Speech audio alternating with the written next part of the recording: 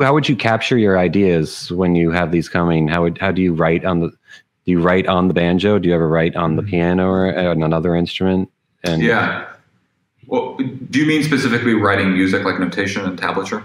Yeah, for you do write it. Do you use you know do you put it on paper or or do you make notes like some har- just some you know what some chords, some harmony, just chord charts or something, and then right. you record it on a, your phone. A lot of people do that. Right, you know, the, right. you get idea.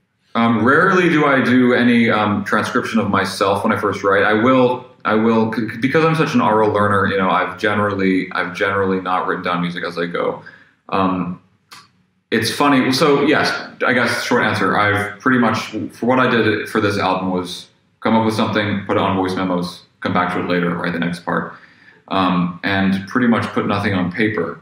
Until recently, though, I've this I think this has been announced by Jake Schepps. Um, I'm doing a tab book um, for this album Odes Codes, which will come out hopefully soon. It was here at Oberlin. Um, we have January term called Winter Term, where you can do a project of your choosing, and I chose my, my advisor approved to, for my project to be a whole tab book of this album. So throughout pretty much end of December and late January, or pretty much throughout January to um, late February, I worked on this Odes Codes tab book, which is very, a very interesting process for the first time putting transcribing myself. You learn a lot about mm-hmm. yourself when you transcribe yourself. That's an interesting thing.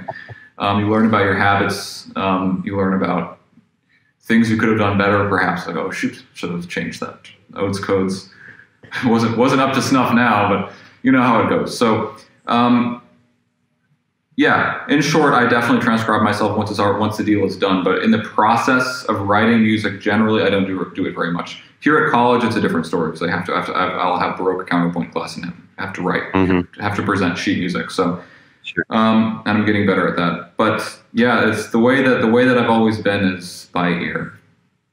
So you'd make a little section, a little, you know, a little theme or whatever, a little thing that came comes to mind record it, and then come back, memorize that, record it, and kind of learn it and memorize it, and add add to it along the way until it feels like it's a completed piece.